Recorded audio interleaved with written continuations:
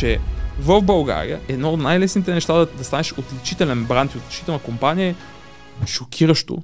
Просто да покажеш, че ти пука за клиента. Изумителна концепция. Все още това пръсва мозъците на хората, като го чуеш. Въпросът е какво стои за това. Това да е в основата центъра да бъде клиента и се опитваш през цялото време да разбереш те през какво преминават, как можеш ти да им помогнеш, как можеш ти да някой да ти звъни и да кажеш спокойно.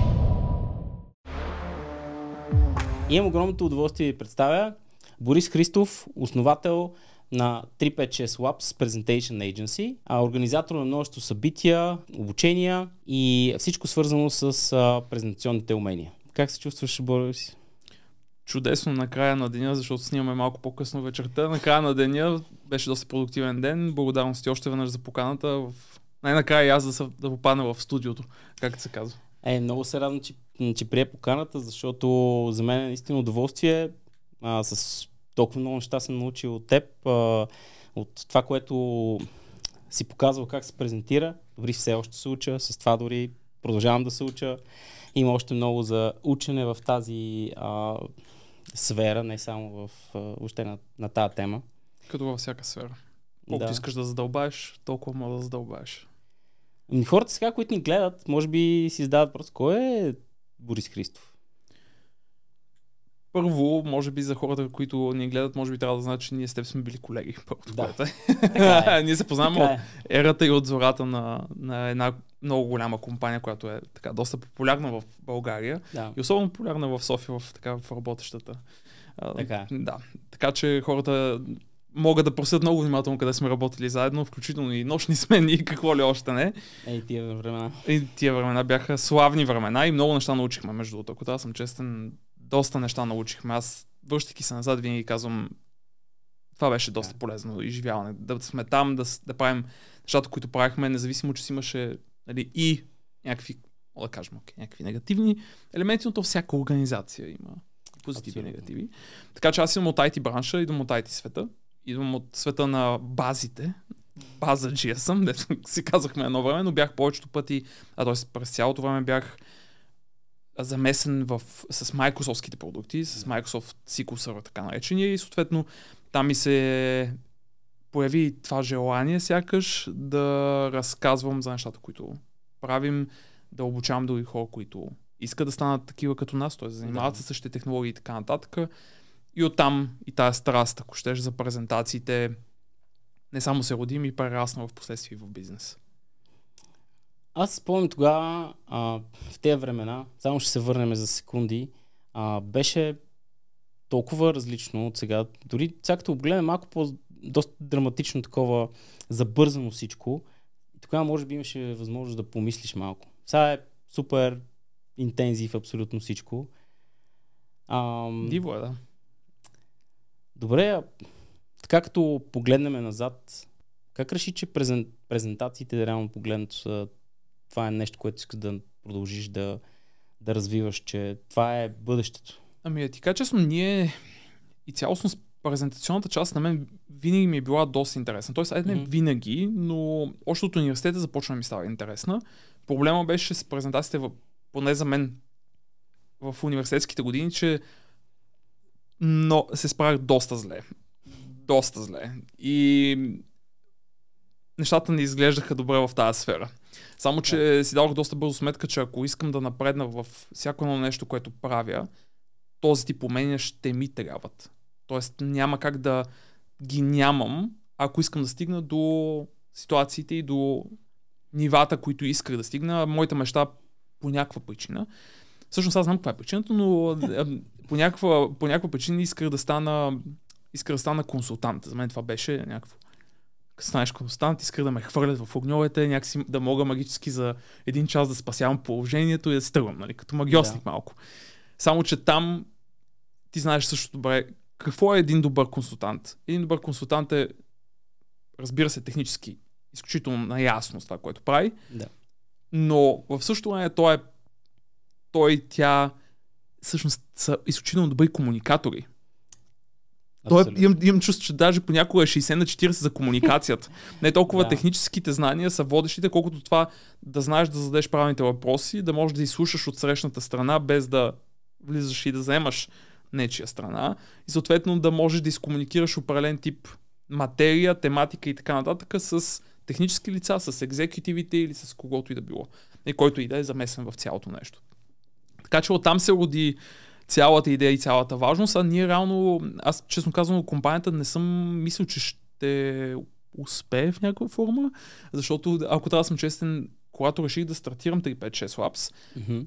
реално начинът по който го стартирах е, че си запазих, започнах да събирам пари на страни и съответно в един момент, в който събрах толкова, че си кажа, окей, имам достатъчно за една година напред, каквото и да се случи, тогава всъщност реших да напусна позицията си в компанията, за която работех тогава и да кажа, ай сега, ако се отдам тотално на това една година, би ли станало? И съответно така и се случи. Вау. Просто се отдадох за една година тотално на това цялото нещо. Така дадох си доста зора, ако трябва да съм честен. И съответно то се получи и 8 години по-късно. Нали? Компанията продължава да съществува и ние продължаваме да направим все по-интересни неща, ако трябва да съм Да. честен. Как се придобива този опит с презентейшн? Въобще този? А, м, защото нали, ние сме реално дейтабейс хора, идваме от един свят на технологии, а, свързани с бази. А, как точно преля към презентациите? Общо взето, аз знам, че си ходил на доста интересни ивенти, на доста интересни събития. А, Ignite, е, Microsoft Ignite, което как се стига до едни такива моменти? Въобще, и, и направил ли си някакъв план? Или? Ами, Ignite по принцип е, Ignite по принцип според мен за техническите хора и цялостно в технологичната индустрия. Ясно е, че всяка голяма компания си има техния годишен mm-hmm. ивент, нали, Oracle си има техния, Microsoft си има техния, Amazon си има техния, нали, и така нататък. Но в контекста на Microsoft Ignite е наистина едно от двете им или от трите им топ събития на годината или поне беше. Само малко нещата започват да се променят, правят го по-кратко, лекторите само Microsoftски служители, нали, са възможни Разбира. такива едни. Има такива едни, нали, не са, не са всички само Microsoftски служители, но основно много се пречупиха нещата да търсят външни а, лектори там. Но реално то не бих казал, че е план, по-скоро имаш една логична последователност от нещата. Тоест, започваш да ходиш първо на локалните събития, т.е. на DFBG групите, Да. после отиваш на, в нашия случай на SQL Saturday, нали, в България. После кажеш, окей, дайте ще отиди следващата година на SQL Saturday. И отново с идеята обаче всеки път, където ходиш и се, на всяко място, на което се появяваш, да правиш максимума. В смисъл не е, да, нали, отивам там, ама Какво ти излезе? какво те излезе? Сега, ако стане, стане, те хората, то е безплатно и така нататък. Не, това е идеята, защото ти го, аз очевидно го правих за себе си, не за някой друг, Да. в крайна сметка. И в последствие, в момента, в който направиш юзър групите, направиш DFBG, направиш конференция тук, нали, едно време, Dev, а, Microsoft DevReach, нали, популярните тогава за Microsoftската екосистема и заднъж тогава кажеш, окей, what's next? Нали, какво е следващото нещо? И следващото нещо е да отидеш някъде другаде. В моят случай, аз винаги съветвам хората, които искат да отидат в public speaking, в conference speaking света, т.е. да станеш лектор на конференции, винаги и продължава да работи между другото това като техника, на, да имаш една сесия, която да е написана добре, като заглавие и като така наречен абстракт. Нали, Да. тия 4-5 изречения, които обясняват сесията. И това, което казвам всички е просто намерете конференцията във вашата индустрия и я събмитвайте, т.е. пускайте навсякъде. Нали? Трябва да сте готови да пътувате, защото ако ще ми пускаш навсякъде, нали, ако те одобрят, какво ще правиш? Нали? Но пускай, първо няма да одобрят навсякъде, това е абсолютно гарантирано от раз. Но ако те одобрят, отиваш където и да са те одобрили. И съответно това е идеята. При мен аз пуснах навсякъде и взеха, че ме одобриха в Верона, което между другото е прекрасен град да посетиш и без това. Ей, това е супер. Да, Италия. Както му сетиш, аз а, доста време живях в Италия. А, В кой град си живял, между другото? В а, Монца. Окей. Това е близо до Милано. А, общо ето където е На, пистата на, да, писате Да. и на, те, не е ли близо до на Ферари? Да, да. Да. Там общо се провеждат всичките а, събития с Формула 1. Да. А, та Мерона е много, много готин град. Да. Супер малко. Италия е страхотно. Абсолютно съгласих. Любимата ми държава като турист. Абсолютно. И не само. Честно ти казвам, а, извън нали, това, връща ми се обратно. Някой път се сещам как просто беше различно. Много е, много различно. Определено е различно, да. Имат си те си собствените казуси, както и ние О, си имаме да. собствените казуси, но според Така е. мен предимствата, предимствата са повече от недостатъците. Особено в градове като Рим. Нямам даже, нямам даже база за сравнение за нищо с нашата любима столица, да го нарека така. Така е. Аз видях в интерес, че Рим ти е един доста любим град. Се се оказваме там за жена ми, да. По случайност. Не е лош, напротив, супер е.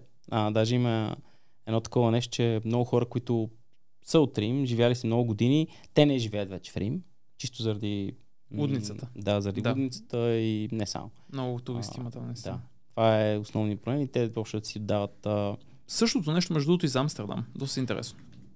Хората, да, които са... Не, това го чух също така. че вече не иска да живеят в Амстердам, заради това, че център е претрупан с туристи. И то с, Мизерия. и то с Някакъв кофти туристи. То това е по-лошо, Да. да. защото там Амстердам си популярни с определен тип туризъм, който Да. не привлича най... Най-добрите. Да, да, да използваме думата най-добрите Да. туристи, да. И затова Да. решават да живеят някъде другаде на 30 минути или нещо такова, а те там транспортната им мрежа е толкова добре уредена, че никой даже и няма желание въобще да живее в Амстердам. Което е Да. доста интересно, отделно от цени и нали, всичките нюанси. Да, определено не е от най-ефтините дестинации. Да, абсолютно. Та така с конфовете, стъпка по стъпка.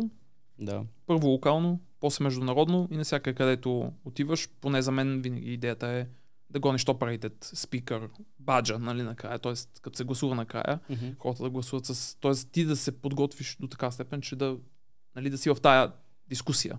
И дали ще станеш топ-рейтед, вече е, те са много нюанси, защо може да стане, защо може да не си, зависи от темата. Пиш, много неща са, но се гониш това, нали, защото организаторите на конференциите си говорят. Да. Това е важното. Организаторите на конференции си говорят. Когато някой се справя добре, когато някой е лесен за работа, т.е. когато ти се отнасяш с уважение към организаторите, правиш и искаш да направиш максималното така, че техният живот да е лесен, и включително ти го казвам и като организатор на събитие, това в последствие печели нали, този човек за дълго време и аз с удоволствие бих казал на следващите, ако ме попитат, а, е, този човек е кандидатство и при нас, виждаме, че е работил с вас на, за презенто сакси, какво мислиш? Какво да мисля? Мисъл, Взимайте го, какво да мисля? Да. И толкова лесно, толкова толкова щадящо, щадящо нас и в същото време, когато излезе на сцената слайдове и история. нали, Взимайте го.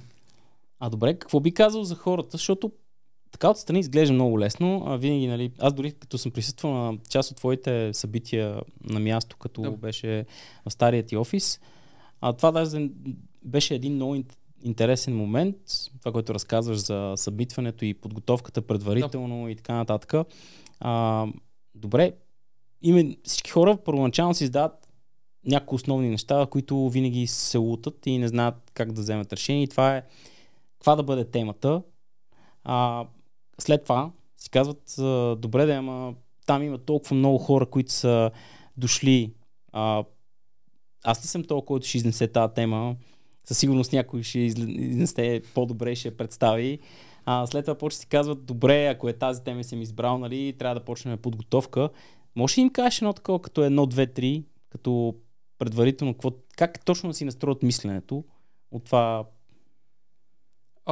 според мен, първо, винаги можеш да очакваш, че в една зала или в една аудитория, особено в днешно време, когато всичко се изстримва онлайн, винаги има един човек някъде там по линията или малко повече от един човек, който знае повече за една конкретна част от твоята материя, отколкото ти знаеш. So what? Тоест, mm-hmm. какво от това? Няма...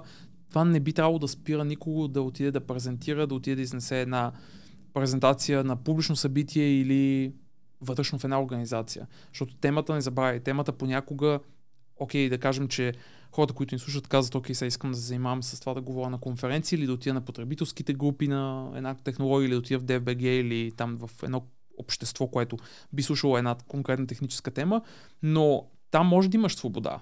Но в корпоративния свят, да кажем, или в стартъпа, в който, в който участваш, да кажем, защото стартъпите в днешно време вече не е... Ето, първо, когато ние бяхме с теб преди 10 години в еди коя си компания, едно време стартъпите в България не бяха това, което са в момента. В смисъл, има доста голям, доста голям прогрес в, в това и съответно и компаниите, които виждаме да бъдат родени в София, са доста по-масштабни и доста по-успешни, отколкото 10 години по-рано, нали? което е супер да се види. Но в една такава ситуация ти понякога не можеш да избереш темата. Ти Да. биваш каран да презентираш за нещо, дали пред клиент, дали пред колеги за knowledge sharing, дали Да. пред потенциален партньор, пред някакъв борт или пред екзекутиви и така нататък. Т.е. понякога можеш да избираш, понякога не. Но в цялото нещо влиза една подготовка, която не може да бъде пропускана, независимо колко опит имаш в една конкретна тема. Това е нещо, което аз продължавам да виждам и продължава да ме изумява начина на мислене от рода на а, е спокойно, вика, аз, нали, не знаеш, вика, че с това занимавам, вика 10, вече над, вика 10 години. Спокойно, няма нужда сега Добре. да вкараме тук време и за, нали, как се казва, за глупости, тук да си губя време за глупости. Седна утре, вика за един час, ще го нацъкам. Да не така се казва, ще, се нацък, ще го Ще го нацъкам. накликаме. Ще го накликам, вика, това е Да. презентация. Какво толкова? Презентацийка. М. Нали? А то, когато подхождаш така, няма как да очакваш. Нали? Това е като всяко нещо. Не може да, не може да поставяш толкова нисък приоритет на нещо и после да очакваш, че това нещо ще се случи да. нещо От него. да, няма как. Няма как. Просто подготовката си е подготовка. И 10, и 20, и 30 години опит имаш в една тема. Много неща се променят, когато излезнеш пред една група хора, особено на живо. Онлайн, ти си си вкъщи, това е сигурна обстановка, няма потенциална опасност, как се казва, за теб, защото нали, не си на чуждо място и така нататък. Просто много, много неща се променят, включително биологично ние реагираме по различен начин, когато сме в една такава обстановка и това е нормално. Затова това, което най-много ме очудва е, че хората продължават да търсят как кажа, едни такива техники, викат, дай, вика нещо advanced, нали, нещо, вика, искам да нещо, вика специална, вика амулет ли, вика да нося, музика ли да си пусна, вика, кажи ми какво, за да направя тази презентация, да не се притеснявам и така нататък. То, в... то е като всяко друго нещо. Има фундамент, който трябва да покриеш, както и в спорта. Има във всеки спорт, има някакви неща, които са фундаментални. В баскетбола, пасовете, нали? дриблирането. В презентацията също има фундамент и когато не си го покрил него, е малко налудничево да се пробваш да правиш 720, два, две пълни завъртания и забивка, нали? Тоест, Фейл. ще ти е доста трудно. Нали? И нещата, които гледаш професионалните атлети да правят с лекота, когато ти се опиташ да ги направиш и никой не си тупал топката, разбираш, че то това май не е толкова просто, колкото изглеждаш на телевизора, дето казват хората. Да. Нали, изисква се време, изисква се нали, практика, изисква се репетиция, изисква се повтаряне на едно и също нещо множество пъти, за да в един момент да си кажеш нали, имам го, ай сега да видя каква е следващата крачка, как мога да надградя над това, но не мога да тръгна без да имам стабилна основа. Просто няма как. Не, не строиш къща от покрива надолу, тръжи ми отдолу нагоре. няма как да стане, освен ако няма някакви нови методи, с които аз не съм чувал, разбира се. И Как ти беше на Ignite първи път? Много тежко, между другото. Но не заради това, че нямах подготовка или нещо такова, заради това, че малко преди мен имаше друг лектор. Ignite, между другото, е конференция, която със себе си носи един такъв доста, една доста интересна динамика според мен за лекторите, защото не е както на повечето конференции, които присъстваме навсякъде в Европа, бих казал. Навсякъде в Европа, в каква ситуация ще попаднеш? Ще попаднеш в една конференция, както и по на нашата. Идваш, има две сесии, от които мога да избереш всеки един момент. Или на някои други технологични конференции, три или пет. Окей, пет трака. Нали. Ignite има близо 50. Окей. Вау. Тук говорим за над 40 000 души, които са разпръснати в две гигантски помещения и има над 50 презентации, които тъкат паралелно. Демек, ако едната е скучна, имам 49 още други, от които мога да избера Да мигрираш. да, да, и между другото стаята е Нали, и отляво и отдясно на мен мога да влезна. Не е като да няма, не е като да трябва да ходя 2 км, нали, за да стигне. Тоест, тя идва с едно такова усещане, че нали, трябва да го направиш добре, в противен случай хората просто имат избор. А при мен имаше казва се, че всъщност предишният лектор, който странно или не, използваше абсолютно същия лаптоп като мен, на време Surface Pro, а, Surface, как се казаха, таблетчетата, дето имаха. Да, да. А, така. Същият, даже същият цвят, разбираш, същото нещо. Той се откача, аз се закачам, няма. Няма Черен. картина. Няма картина. И аз съм станал. И Ау. понеже стреса е много висок, окей, слава богу, той се откачи на време, не си закъсня с лекцията, аз имах пълните 10 минути да си тествам и започвам по, от притеснение, Защото не съм отишъл по-рано, един ден, примерно, да говоря с AV хората, Да. да го тествам, да видя, да съм сигурен, да съм спокоен, че това работи. Но между другото, дори да го бях направил, това нямаше да помогне, защото аз се вързвам, то не работи, но виждам, че и това е важно за всички, които слушат, че когато вкараш HDMI кабела, го казвам в лаптопа, или там USB-C-то, или каквото и да е в нещо време, ако екран ти не примигне, грубо казвам, това означава, че сигнал не стига до тебе. Да. Този сигнал няма. При мен не примигна и аз го видях очевидно това. И все пак бях малко... Ще го се държа като аматьор, нека си рестартирам компютъра първо. да. Нека да, какво трябва да направя? Рестартира ли? Рестартирах. Да, нищо не се променя. Смених, имах а, а, конекторите, носех по два. Значи и два а, VGA към DisplayPort и два HDMI към DisplayPort, защото те Surface бях с, с мини DisplayPort. Сменям ги нищо. И в този момент вече хората започват да идат и аз съм пс, тук започва да става, започва адреналина да се качва още повече и в този момент просто казах на AV човека, викам, човек, тук има някакъв казус, викам, моля те помогни ми, защото не, това не изглежда добре.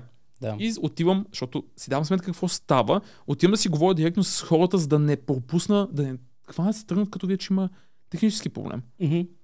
А, говоря си, говоря си, говоря си, една-две минути минават и в един момент чувам We'll need to change the display. Зад мен това се чува. Някъде зад гърба ми. Което означава, че те искат да сменят един 100 плюс инчов телевизор, да го свалят от една рамка, да го някъде физически го преместят очевидно и от някъде другаде да дойде друг 100 плюс инчов Вау. телевизор, който да трябва да се монтира някак си и моята презентация уж да започне. Само, че ако си реалист в тази ситуация, да. по-скоро би това, което може би чуваш в този момент, поне аз това, което чух в главата ми е, честито, твоята сесия току-що беше кенселирана. И ти летя от София до Штатите, за тия 30 минути те никога няма да се случат така или иначе. И все пак, аз продължих да си говоря с хората и в един момент, буквално може би минута по-късно, цялата публика, с която аз се старая да се ангажирам, за да не си тръгнат, започва да ръкопляскат. И аз се обръщам, поглеждам, и той казва, вика, сплитъра е изгорял. Е изгорял. То е една кутийка, която седи под, под самата катедра, където всъщност оставяш лаптопа, и тя изга... явно е изгоряла точно когато ония предишния лектор Мгм. се е откачил, аз съм закачил и това нещо гори. Какъв е шанса, кажи ми, на първия път, когато отиваш в Ignite, на, на такава конференция, Да, да. да се случи нещо такова и слава богу започнахме първо с минута закъснение. Но това усещане, че твоята сесия се проваля и после ще видиш хората как си тръгват, физически напускат тази локация, на която си ти, когато си за първи път там и това е Ignite, е просто брутално. не е честно. От една с тебе не е честно, друга страна ти добавя един адреналин и едно напрежение, което трябва да наистина да си много подготвен в последствие, за да можеш да се извадиш от това и да можеш да продължиш все едно нищо не се е случило. Все едно така е било планирано да бъде и без това. Е, Което вече идва с репетициите, с опита като презентатор, опита в самата тема и всички други такива нюанси. Ами мислиш ли, че това се е превърнало като дефектов ефект? Защото си имал един друг интеракшн с хората, точно за този момент, общо взето си могъл да а, преминеш така, да ги ангажираш, да си поговорите и накрая е, решихме технически проблем. Давай, почвай. Не е ли малко точно да, като айсбрейкър? Ми, може да се получи между другото, или ти като презентатора може да го използваш като айсбрейкър. Мгм. Ако трябва да съм честен, ако мога да избирам, не бих избрал такъв тип айсбрейкър, но когато се замисля, да, може да всъщност да сработи и да спечели всъщност аудиторията на твоя страна даже повече, отколкото ако просто беше започнала самата презентация, ти все пак я направиш правилен начин и така нататък. Факта, че Да. се ангажираш с тях, закачаш се, грубо казано, с тях, говориш си някакви те и кажеш, а това случило ли се на друг път на Ignite били сте?» и някакви такива глупости, колкото само да минава време да, да, да печелиш време на техническия екип отзад. Може би отчасти ми е помогнало, не съм станал топ рейд на тия спикър на самото събитие, по просто причина, че презентациите не са най-секси темата на Microsoft Ignite. Не е ли Cloud, не е ли AI, не е ли Security, не участваш в списъка с, с топ rated нещата. Да. Но това Много як опит. Аз мога да кажа, че така докато слушам и само си представих какво е, а, по някакъв път сигурно е, нали, точно това е ужасното, нали, като нещо се, и се нали, има чувство за проваляне в някакъв момент. Със сигурност е много такова декон... как се каже? Те кара из... да се извадиш извън в равновесие някаква степен. Сигурно. В първи момент, да, според мен. Аз честно казвам, нарочно, нарочно, понеже сега в крайна сметка това ни е работата Мгм. и се нещо, нещо смешно. Ам, това ни е работа и аз като цяло се старая да попадам в тези ситуации, за да мога, ако някой ги бърка, предпочитам да ги сбъркам аз, да се опитам да разбера защо съм ги сбъркал, Мгм. да отида да ги направя втори път, да се работят, за да може, ако някой дойде при нас, който каже искам да работя с вас и имам нужда от така помощ, попадам в такава ситуация, какво да правя, Да. тогава искам аз самия да съм минавал и да съм бил част от тази ситуация, за да мога да говоря от истински опит, а не да говоря от опита си само на човек, който е прочел нещо някъде. Защото знаеш, че понякога тия двете се разминават драстично. Нали? Аз, когато дойдох в тек света, бях изчел немалко книги за сикуса вече. И когато започна да работя това, бях това не е точно същото, както го пише в книгите. Тоест, ня, нали, има някакви допирателни, Да. но истинския свят си идва с просто с неговите специфики. С бачкането. Да. Справянето. Аз затова, аз затова, аз затова много се нервирам и много се палях, виждаш как ми тръгна Да. гласа нагоре, много се паля, когато, особено в, преди време в техническия свят, няма да цитирам имена и там се занимавам с глупости, но много се дразнах, когато определен тип организации, лекторите в т.е. трейнерите в този тип тренинг организации, всъщност бяха хора, които не са работили това, което преподават. Мисъл, съжалявам, но това не е честно. Нали, не можеш да даваш като една компания 1000 плюс евро едно време, За тренинг per person нали, на човек и от срещната страна да има един човек, който ти дава един учебник и ти казва, грубо казвам, прочети си го. Мисля, за какво въобще съм, каква, це, каква стойност ми дава този човек на мен, ако това е цялото упражнение. Аз искам да си говоря, искам да отида на тренинг и бих оценил тренинг и човек с когото да работя, с който отивам и му казвам, виж, имам този проблем. Как мога да го правя? Бил ли си в тази ситуация? Какво направи ти тогава? Какво сбърка тогава? Как, се, как я разреши тази ситуация ти самия? Нали? Това е ценното за мен и затова съм склонен даже да платя много пъти повече и се надявам всъщност хората, които ни слушат, също да са на това мнение. Нали, цената си е цена, но аз лично съм склонен да плащам за повече, когато хората, които, с които работя, всъщност правят наистина това, за което ги моля. Защото в нещо ме, поне имам чувство, че може би понамаля малко това с как беше, лайф коучове на по 20 години, какви бяха там, всякакви други подобен тип неща. Мастер класчета на хора, които това пак да, мастер, клас, мастер класове на хора, на теми, които тия хора никога не са изживявали те самите. Викам, стига бе хора, смисъл това не е. Защо? Как стигнахме до тук въобще? Но това е Каквото Да. е такова, сега ти Да. не мога да контролираш всичко, така че и ти слади си. Да, всъщност съм попадал на един такъв тренинг, в който лектор общо взето почти четеше. А, много, нали, мога да кажа, че не е, не е полезен изобщо. Накрая трябваше да го смениме. Просто защото нали, няма смисъл. Тренинга първото си, ти си губиш времето, второто то е в един момент а, в един момент ти може да спиш даже на тренинг, грубо казано, защото то е м, useless, грубо казано, не е толкова полезен, не можеш да вземеш нищо от тренинга. Да. А, добре. Така като погледнеш в света, какво случва сега с около някои интересни новини да ни споделиш покрай Microsoft ивенти или някои, кин, някои интересни презентации, които са случили наскоро. Така, Между другото, шегата на страна, за мен едно от най-шокиращите неща, които се случи. Очевидно е, че сега пълно всички говорят за така наречения Copilot, нали, за...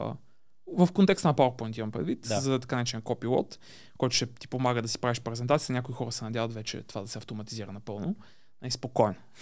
това няма да се случи толкова бързо, колкото си мислите. А, или поне на нивото, на което бихме искали да е. И, иначе той може да прави презентации, въпросът е какви. И това е малко като с вебсайтовете. Аз мога да си направя вебсайт, но какъв? Е?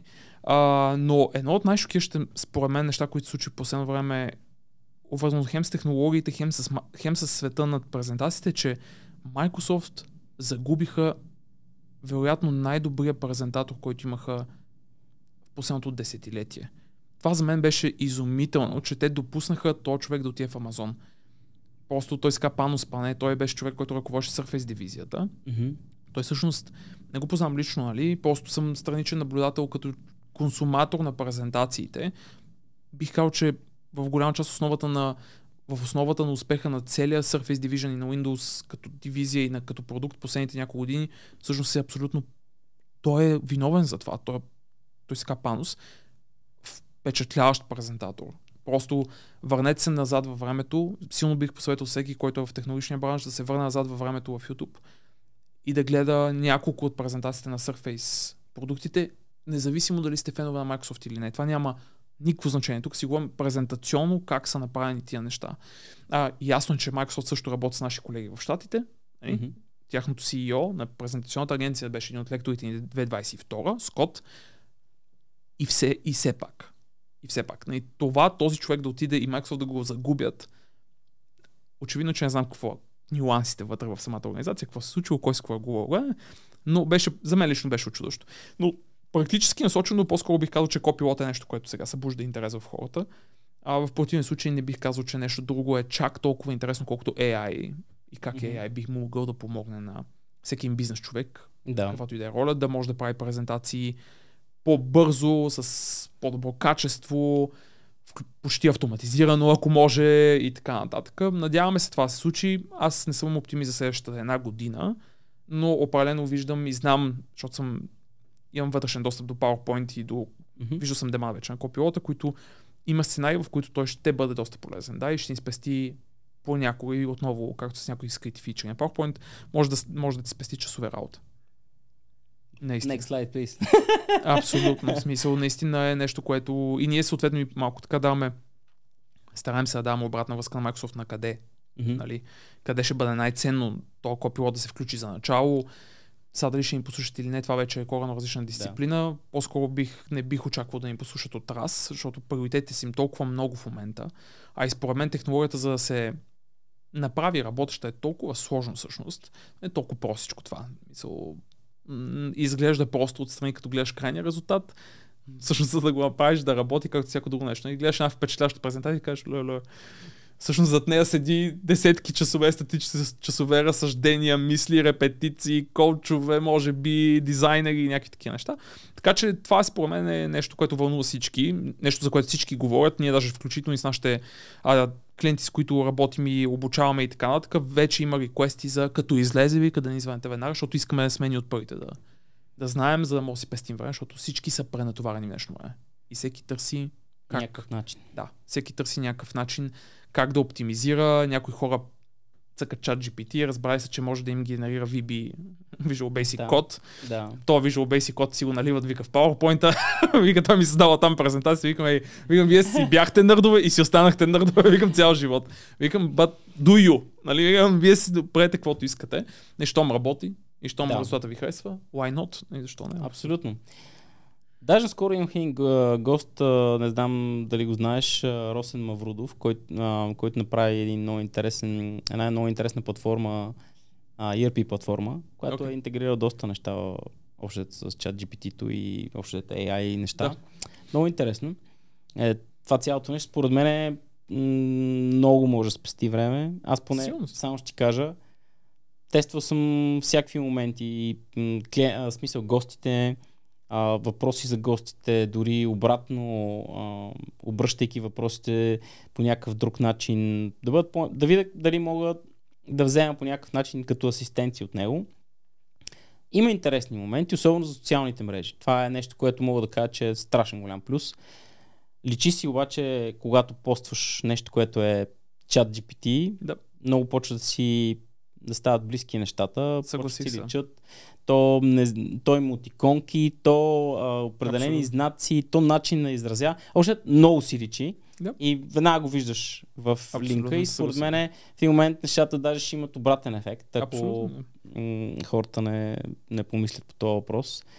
Съгласих се напълно. Аз съм също мнение за особено писането за, на копии, нали, на текстове за социалните медии. Същ, до същия извод бях си имал преди няколко седмици, когато малко задълбах просто малко да го просъкам да видя какво става.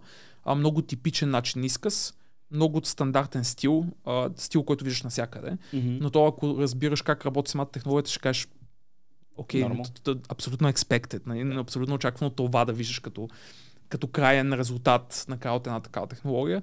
А има доста, според мен, мнения за това, че нали, цялото това нещо, ако ще искаш да пишеш с ChatGPT, нали, гониш медиокър резултат. Нали? Да. Не, не, такова.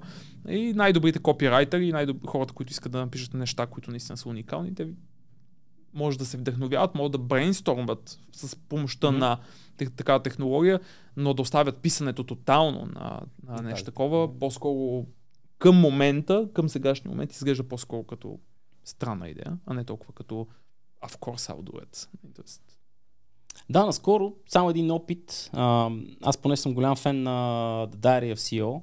Да. Просто съм Знам подкаста. Yes. много добър подкаст. Едитъра на- се опитвам да разбера всеки път някакви моменти, как ги прави. Уникално ме кефът.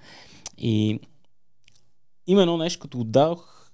Разкажи ми как точно си прави м- м- подкаста. Как горе-долу какви тематики, как точно прави всеки един чаптър, да кажем, всеки един въпроси, как си организира тия неща. ChatGPT не даде, даде много интересна информация, която се била повтаряла и им беше интересно къде е взел, което беше по-интересно как и на, да го използваш за анализиране дори на как си прави контент един човек. Ако стигне до там, това е също интересен момент.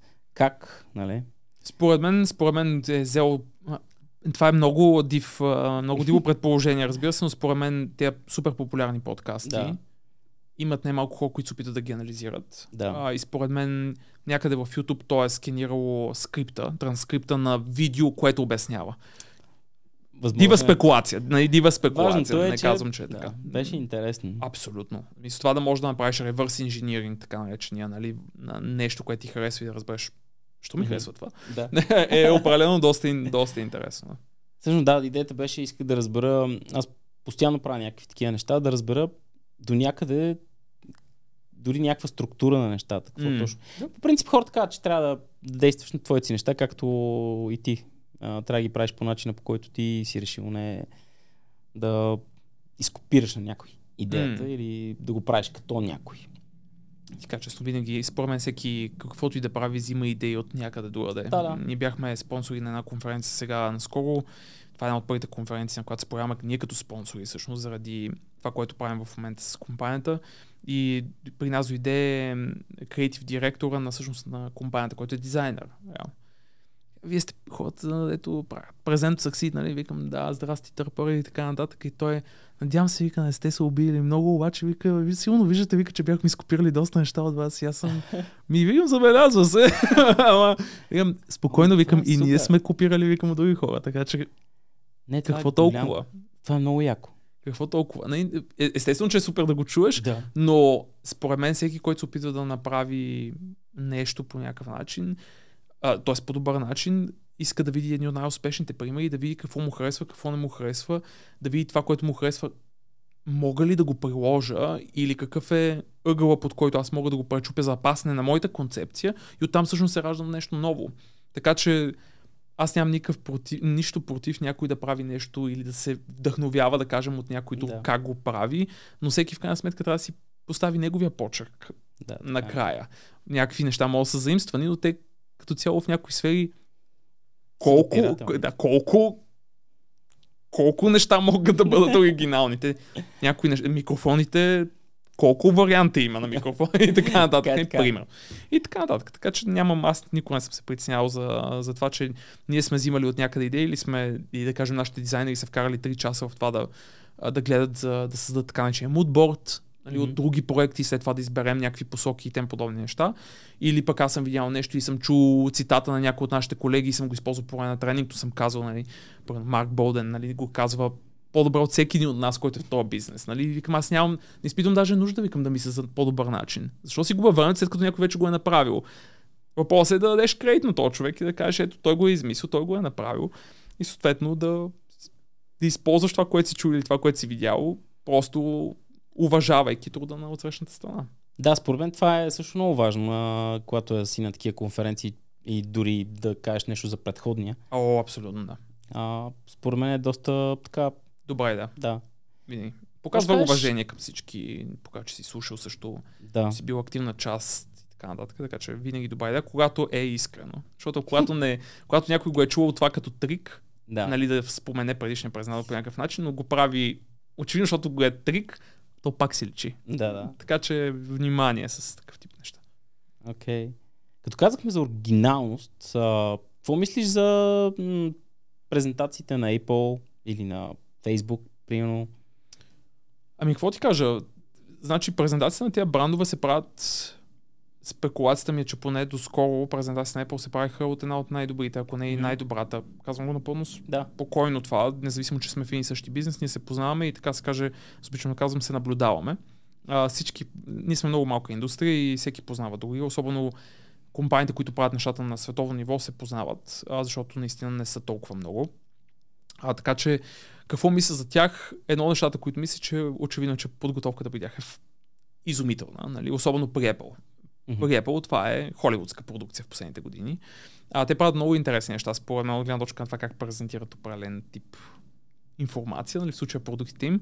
Според мен малко започват да се претърква цялата работа. А, трябва малко да помислят отново, а, защото креативността им идва повече в видеята в момента, mm-hmm. отколкото в начина по който сервира тази информация. И ако трябва да съм честен и всички могат да го видите, аз лично не мога да разбера една айде да нарека грешка според мен. Не знам дали го правят умишлено или не, но последните две или три събития, всеки път, когато пълно на един от слайдовете ми има едно число и информацията за това, това число какво е пълно. 20% по-бързо от предишния продукт, да кажем. Винаги, когато го има такъв слайд с едно гигантско число и текст отдолу, на самата, самата подредба на числото спрямо текста, текста, който обяснява числото, е много откъснато от числото което по принцип не би следвало да е така. В смисъл, то е ясно, че трябва да има място отгоре, отдолу, отляво, отясно и така наречено негативно, така наречено негативно пространство, но там има нещо грешно и не знам дали го правят умишлено. Да не реферираш случайно за последната презентация, където сравняваха M3 с M1? А, това е нещо друго, което сега забелязахме преди два дни буквално, mm-hmm. че вместо сравняват с предишно, сравняват с по-предишното това, виж какъв е, това е между другото много интересно според мен. Много интересно, че тези трикчета, които използвате, кои, mm-hmm. в които те са, старат се да бъдат доста добри, проблема им е, че YouTube се превърна в едно място, в което имаш толкова много активни участници на това да анализират, особено Apple. Не, особено тях.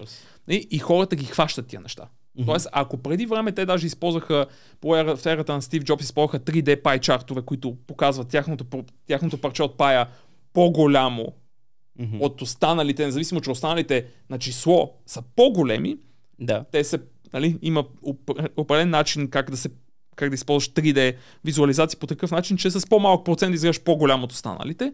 И никой не говореше за това, защото бе, се мина, нямаше такива медии, нямаше социални медии, такива да, неща. Да. Сега в днешно време само правят M3, защо го сравняват с M2?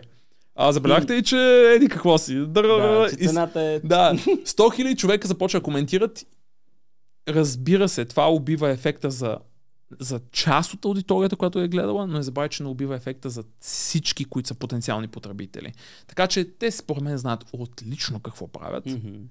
но са в такава привилегирована позиция в момента, да. че могат да си правят, както обичаме кажа, каквото си искат. Те се докараха до един момент на бранда. Според мен в момента Apple ниво бранд е бранд, който те наистина могат да си позволят да правят грубо казано каквото искат. Нали? iMac не му били апдейтнали USB портовете. И? Да. И? и? Какво? И, казвам. Да, и? Какво ще направиш? Как се казва? Ние какво ще направим с вас по този въпрос? Имайки преди, че този, компютър пак ще продължи да се продава безобразно. Нали? По просто причин, че бранда диктува цялото нещо. Същото нещо мога да видиш, нали, да се вкарам в нещо, което е лично моя страст, е това, което случва и с бранда на Porsche, нали, като автомобили. Да те си правят каквото си искат. По просто причина, че бранда се вдигна до такова ниво. Това е най... Е, това ти е мечтата. Да. Да ръководиш такава компания. Е, това ти е мечтата. Казваш, а, днес ще направим а, един автомобил, който ще бъде лимитиран на еди колко си бройки, 900 бройки, 9000 човека се записват да го купуват. И казваш, това ще е последния лимитиран автомобил от поколението всички. Айде, давай, защото ще е лимитиран, ще е такова, ще се вдигне цена и така. 6 месеца по-късно, размислихме, ще има още един лимит автомобил и всички са, а, чакайте, това не е честно. Няма, не е честно. Решихме, има годишни на, не знам си какво, създадохме си причина така. Това са брандове, които аз затова обичам да казвам, че много хора гледат на някои презентатори и на някои брандове и казват, ма те защо го правят така? Правят го така, защото са в позиция, в която ние с вас не сме. Те са на единия процент, единия процент. При тях правилата са различни. И така, т.е. Да. ако ти си Apple, ако ти си CEO-то на, на, на, първо на Tesla като а, Мъск, Мъск в първите няколко години като презентатор, той едва му говореше горкия. Но, хората така, ми той Мъск, ма той... Ма... Да, но той има един авторитет в очите на обществото или на света, който ние с вас нямаме. И заради това, че той има този безобразен авторитет в обществото на хората, те са склонни да правят компромиси с други неща.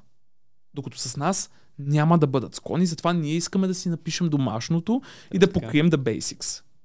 Така е. За наше голямо съжаление. Дали работим в посока да стигнем близо до техния авторитет? Sure. Maybe. Нали? Пробваме се. Всеки със силите си, нали? както се казва.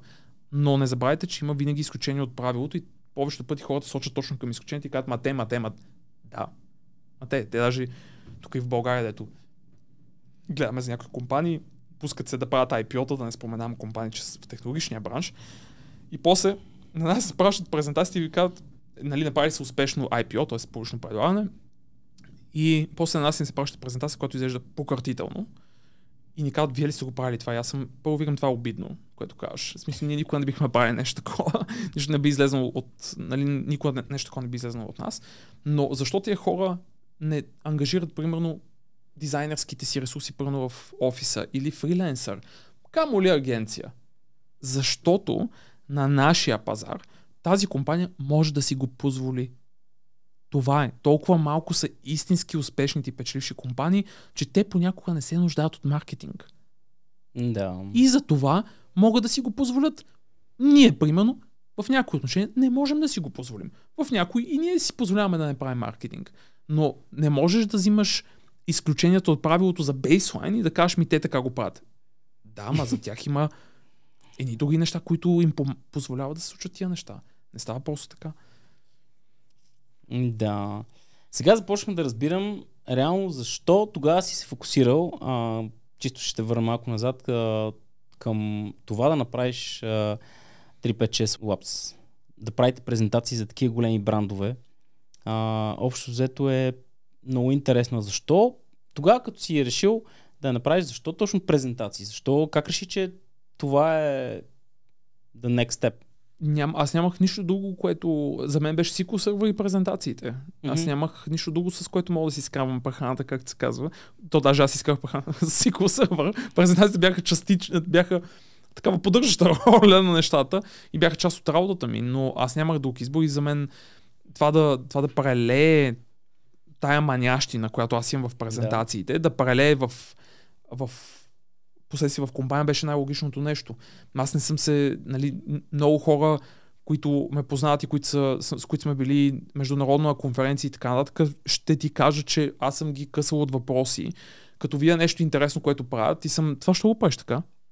Мгм. Викам, това случайност ли е или, или има някаква логична причина, ще го правиш? Просто искам да разбера до последния детайл защо нещо се прави така, а не по друг начин. Просто самата материя, самата тема, някакси имаш интерес към нея. Да. И това бяха презентациите за мен. Аз имах огромен и продължавам да имам огромен интерес към самата тема.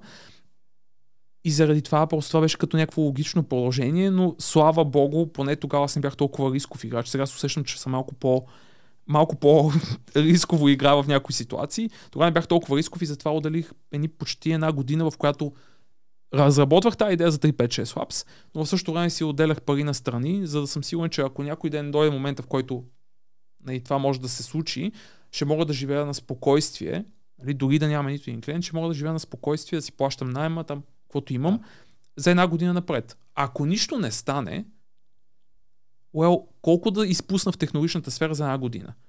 Ще изпусна не малко, но не е невъзможно да се върна.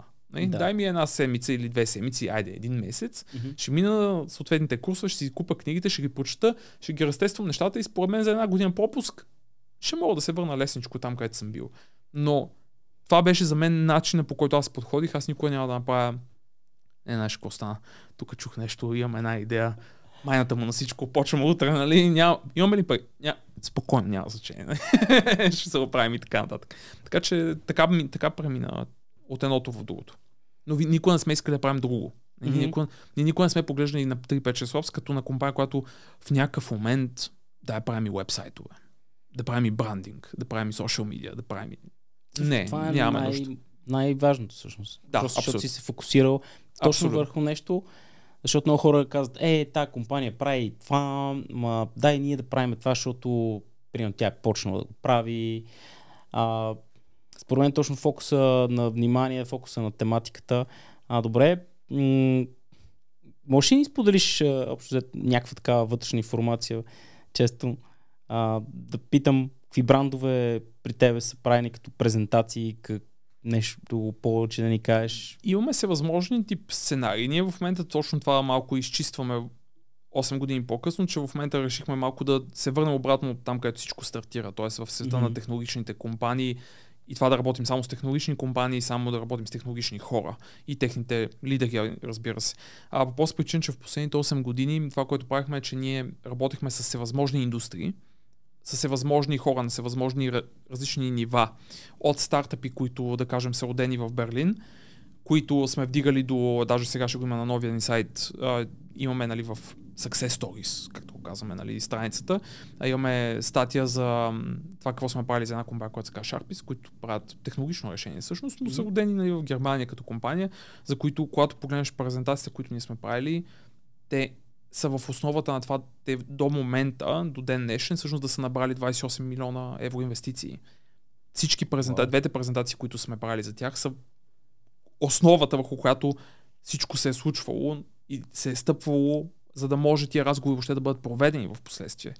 Но имаме от стартъпите през да не, не искам да си изхвърлям, но да не кажа почти всяка основна индустрия, която можеш да се сетиш. Наистина.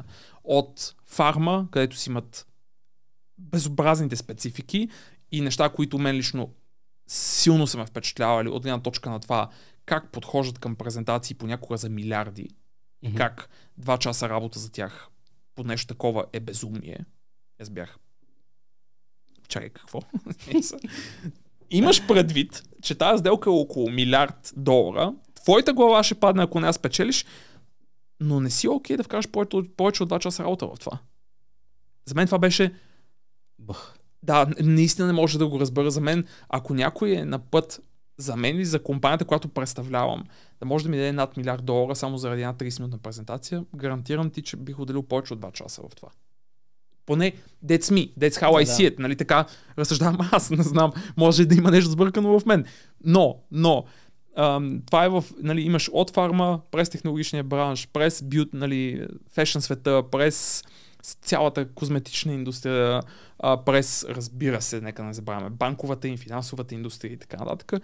Всеки един, всеки, всяка една глав, така по-голяма, по-развита индустрия, всъщност сме попадали в сме работили с тях, дали сме работили и сме създавали презентации за тях или сме обучавали техните хора или техните екзекутиви, различно е, но сме правили презентации, смея да кажа, за от най... от едни такива сре, нали, не критични ситуации, като някой трябва да се срещне с някого, до IPO-тата на няколко от големите, в случая в България, компании. Мале, като слушам отстрани, това е уникално и се чуда какво е чувството да, какво е чувството да си в центъра на създаването на една презентация. Може ли да ни разкажеш, защото всъщност хората отстрани говорим и за презентации, общо взето, обаче чувство вътре, като тръгнеш да го създаваш това нещо, знаеш колко отговорно, знаеш какви неща могат да допринесе това нещо. Разбира се, идеята е да стане много добра. Винаги. Това е идеята. За мен, е- за мен е много интересно. Между другото, за мен винаги е било доста... Аз ще казвам, когато получихме е ти пълно казус с компания. Една от компаниите, която се лисна на борсата преди много години, доста популярен бранд, стана на второто най-голямо публично Мгм. предлагане в България. Те ни звънаха, първо, понеже при нас и, и с презентацията как като цяло. Повечето пъти а, някой ни звъни и казва, искаме тук една презентация, ама за кога? За следващата седмица. Шур, нали? Няма проблем. А, не, Ай, опитайте другия път пак, нали? Ама поне един месец по-рано. Ети, в случая български бранд, който ни звъни 7 или 8 месеца по-рано. И ти казва, искаме да ни помогнете, чухме за вас, да ръбъра и така, ще дойдете ли на среща и аз отивам на тази среща, срещаме посеща CMO-то на компанията. Викам, «Пс, защо? Чакай, бе, какво става тук? Също не, тя ми казва тогава, казва, чакаме еди кой си човек, той е всъщност Chief Financial Officer на компанията. Аз съм CMO и CFO в една среща с човек като мен. Викам, тук не, не, не, има нещо нередно в цялата работа или аз не разбирам какво се случва. Сядат те и изведнъж влиза и CEO-то на компанията. И аз го виждам и, и казвам чай малко. Трите топ нали, C-левела Мгм. среща с презентационна агенция. Тук, тук се случва нещо и тогава разбирам, че всъщност IPO, т.е. че се, има публично Да. предлагане. Но такъв тип презентация е една от презентациите, за която аз бях казал тогава на екипа, честно казано, не ми пуга колко пари струва това. Ние няма да работим за без пари, очевидно, Да. но аз искам да го направим. Просто защото опита от това да си говорим за това 7 години по-късно, Да, да. все още остава там. Тая история, която можем да разкажем, все още остава с нас и опита няма как да го вземеш от нас. Нали, Невъзможно е. Но да преминеш през едно такова нещо, примерно да попаднеш в ситуация с тези хора, да видиш, че това е най-критичният момент в развитието на този бизнес. Нали, Едно IPO е като нож с две остриета. Ако мине успешно, те изстрелва, защото печеш гигантско количество пари, което после може да отключи тотално нови развития на една организация. Нали, пред 82 милиона лева на българския пазар. Това са много пари.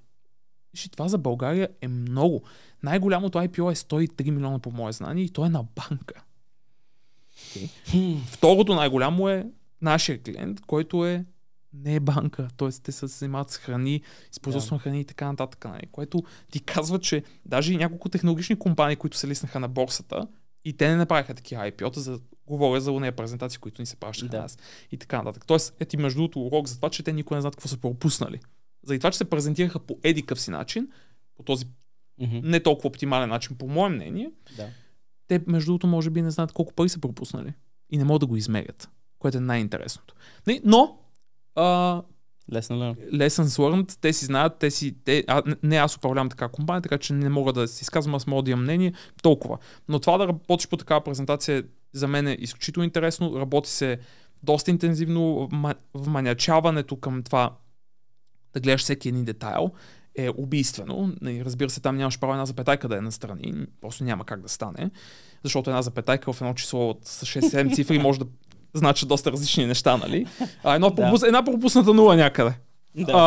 А, нали, съответно, да, нали, се случват определен тип неща, а, но това да, според мен, да влезеш в положение на хората, които го правят, да разбереш Мгм. те през какво преминават. Аз съм получавал по, а, коледа в 10 и половина и кол и си гледам телефона и виждам, че CFO-то на компанията ми звъни. И аз съм петък вечер, коледа почти, и то човек ми звъни, викам, чай да, чай да видя какво става.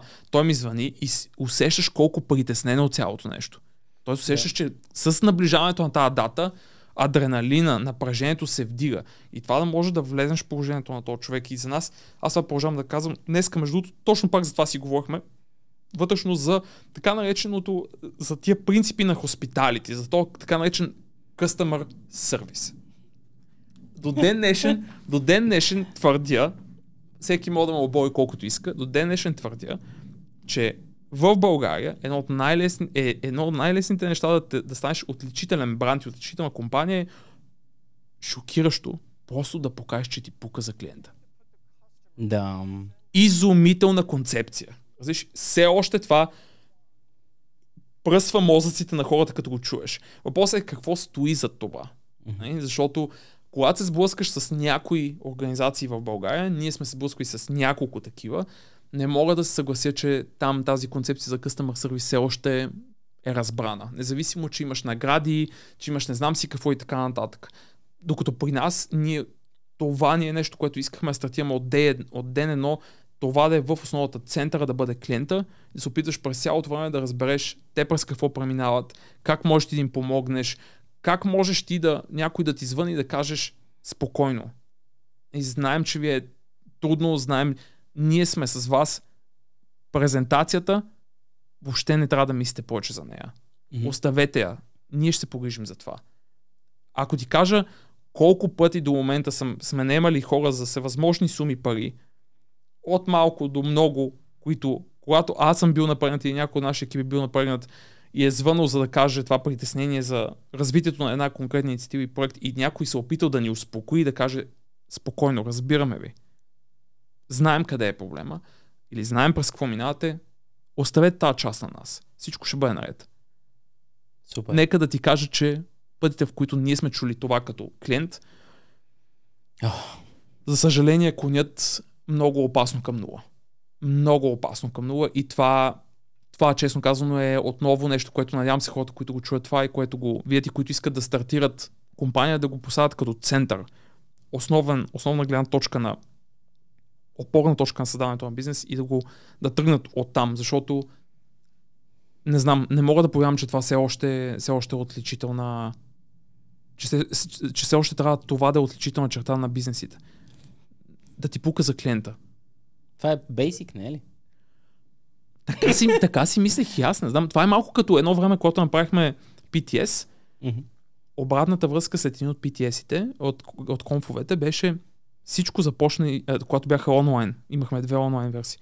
Всичко започна и приключи на време.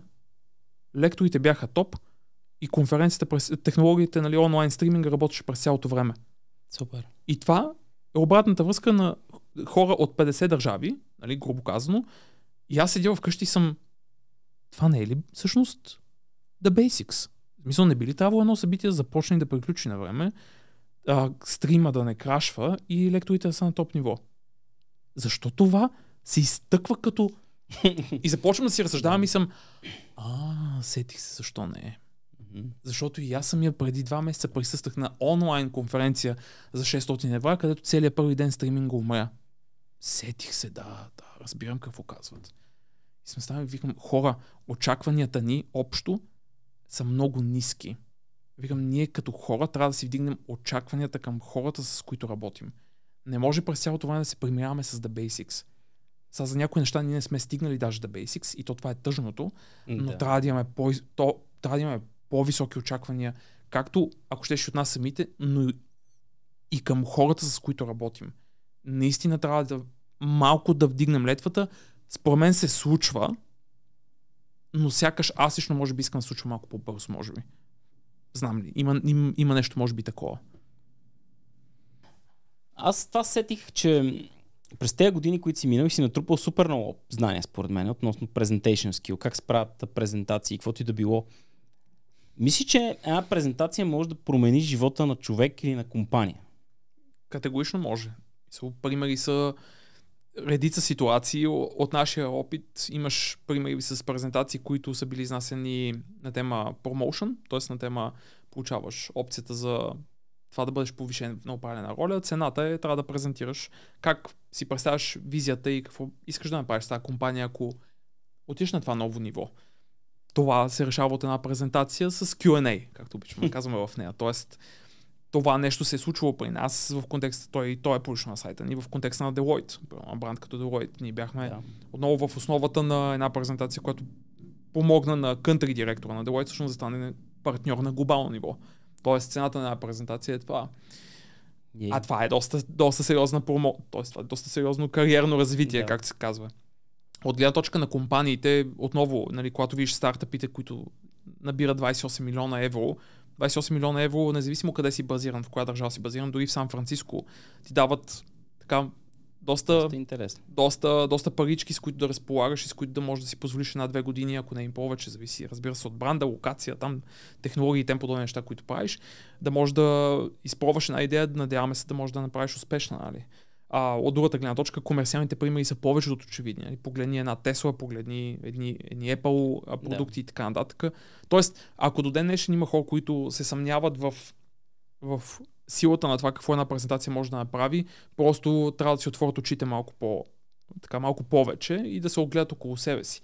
Ние сме имали презентация, която сме правили, която си, стартовата позиция е, че изпълнителният директор на една организация трябва да съкрати 80 души.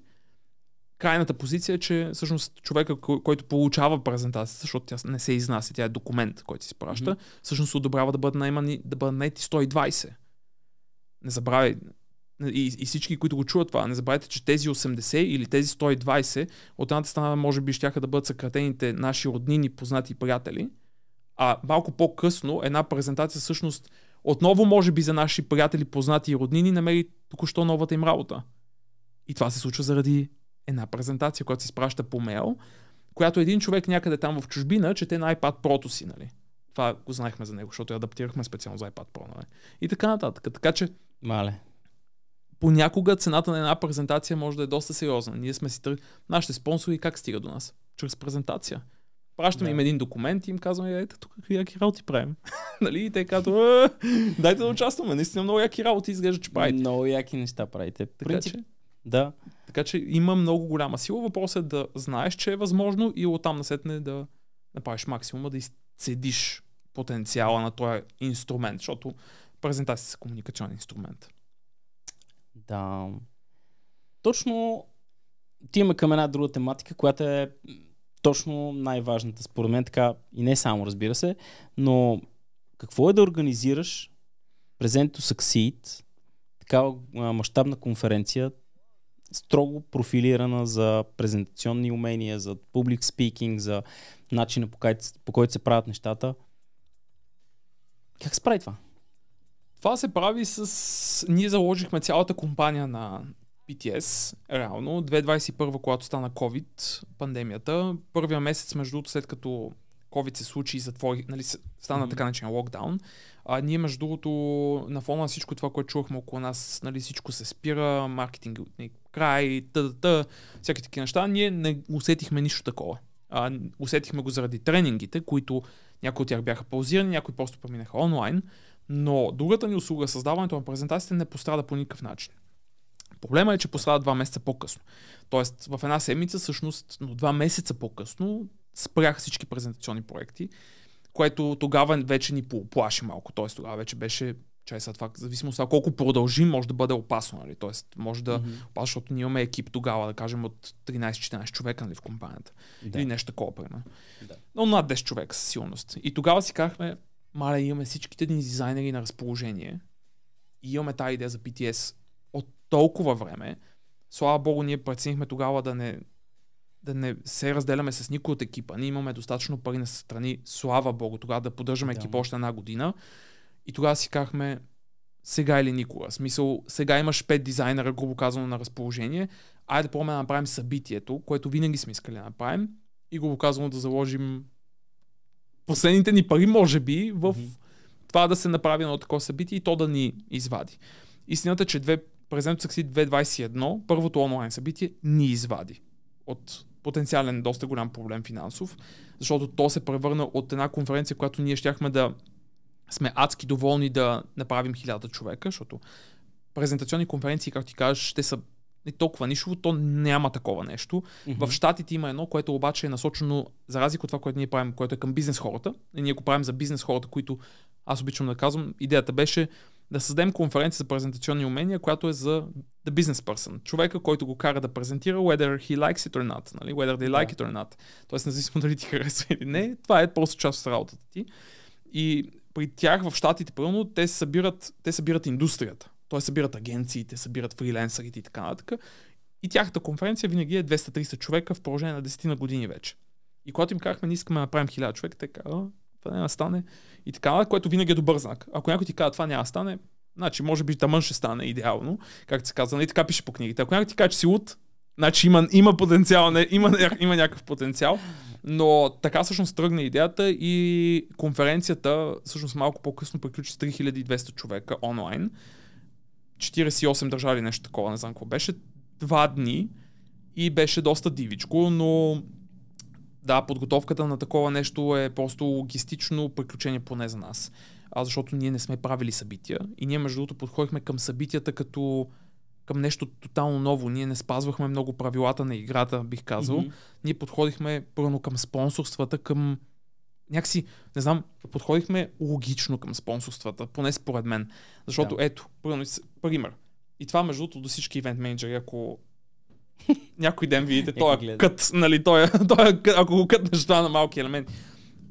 Продължавам да виждам Значи, ние спонсорираме вече две конференции, IT конференции. Продължавам да виждаме един същи подход, който е, ние имаме три пакета, искате ли един от тях, да или не?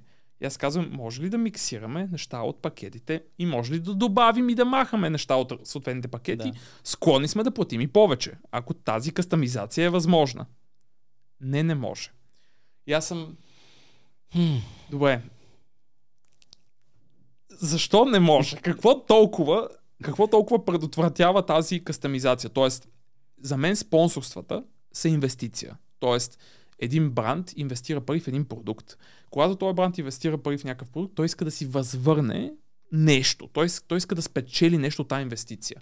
Съответно, аз и ние подходихме към спонсорствата, и като просто отидохме към Microsoft и им казахме, да, мога да ви покажем пакети, но ние искаме да ви питаме, ние ще имаме тази аудитория в този мащаб за еди колко си дни с такива лекции и с такива сесии. Какво бихте искали вие да постигнете с участието си на такова събитие? И те, между другото, интересно или не, винаги ти казват неща, които ти няма как да се сетиш. Например, Microsoft ти казват, ми ние искаме да разпространим идеята за това, че имаме така наречения инсайдър, инсайдър билдове на Windows, на Office и така нататък, т.е. тия бета версии нали, на Windows, на Office пакети и така нататък. Много вика, малко хора ги тестват. Колкото повече хора ги тестват, толкова по добре би било, защото има повече данни, нали, повече хора дават обратна връзка и така нататък. И аз Добре. бях, това по никой нямаше сетят да фокусираме ние като продукт усилията си така, че първо да се говори повече някак си се включи тази идея за инсайдър офис пакета. Мгм. Ако те ми бях казали, аз ще напиша някакво пакетче там, ще има нещо готино, може би едно-две неща ще паснат някак си магически там, но няма, няма, няма как да се сетиш. Така че винаги, винаги се старахме да направим а, много customer, много customer centricity, особено към спонсорите, да направим нещо, което да е много, много, а, много кастомизирано спрямо всеки един от тях, защото всеки един от тях си има тяхната нужда. Оттам насетне после трябва добър project management трябва, и ти трябва добър човек, който да може да продаде събитието. Защото в нашите мащаби да стигнеш до това да продадеш 3200 души, м- това не е лесно за конференция, която не е на секси тема. Ние Да. не продаваме, ние не продаваме, без да подценявам нашата тема, ние не продаваме ам, конференция за social media, М. нали, или за UX, или за AI, или за uh, Digital Transformation, или за, внимание, The Future of Work. Нали? И така нататък. И са, са възможните такива неща, Мгм. които са секси като теми. Да. А ние сме една много нишова тема и да видиш такава, такова събитие, глобално събитие, избутано тук от да. малка София, не е никак малко постижение. В интересни, като каза за това и нали, с организация и всичко останало, знаеш, в главата ми е останало от последната конференция два, а, два или три основни елемента. Първия беше водещия, който водещата, която Да. реално буташе цялата Да. идея. Тя беше толкова, ма толкова нейтив все едно. Така много добре. Аз мога да кажа, че съм супер фен. Супер съм и фен. Второто беше Майя. Аз а, лично си взех страшно много от нея. Някой път, нали, като ходиш на такива места и си кажеш, е, тук има някаква допирателна. Mm. А, припознаваш се, взимаш си някаква част, каквото близко е до тебе, кефите като идея, дори някъде такива неща и си взимаш баян неща за вкъщи. Всъщност М. това е, даже м- да бъдем честни, като имахме предварителния разговор, дет беше хората да разберат нали, нещо, как точно се правят нещата, как да стартираш, как точно се говори на технически събития. Още нещо си вземеш за вкъщи, Mm. което всъщност е най-важното в едно такова нещо, че като отидеш, не отидеш просто за да видя там, да изгубя някакво време, а да си вземеш нещо, след това да фанеш да, го, да вземеш и да го приложиш. В интерес се опитвам по някакъв начин да, да ги прилагам някои от научените моменти и за мен беше супер, супер полезна тази конференция. А, колкото и странно да ти звучи, в този подкаст аз а, нито не съм, не съм правил никога подкасти, ти много добре знаеш откъде идвам Знам абсолютно. въобще е тотална ра- разлика от това, което искам да правя в бъдеще. Тотално искам да правя тези неща, както цено. По някакъв път си вид... ето е, хората са решили, че това нещо ги кефи, това нещо искат да го правят и продължават. Независимо от това какво срещат, как го срещат, с какви трудности се сблъскват, трябва да правим нещата, които м- ни кефи, които ни харесват, които виждаме, че имаме много пауър за тях. Абсолютно. Напълно съм съгласен. Радвам се, между другото, че Майя, между другото, за те от вас, които се чуят коя е Майя, Майя беше един от лекторите ни. Тя отвори, да. тя отвори всъщност конференцията. А пък, да, абсолютно. Ние постарахме се доста, да, доста внимателно избрахме лекторския състав, така да се каже. Може да си забелязал, че при нас няма така наречения в техническите среди call for speakers. Mm-hmm. Тоест, ние до 3 години подред не сме вдигали call for speakers. Пишат ни един имейл, който бяхме оставили speaker set, нали, презенто секси и така нататък, но а, всъщност винаги сме знали кой искаме да поканим. Mm-hmm. Винаги сме знали кой искаме да поканим.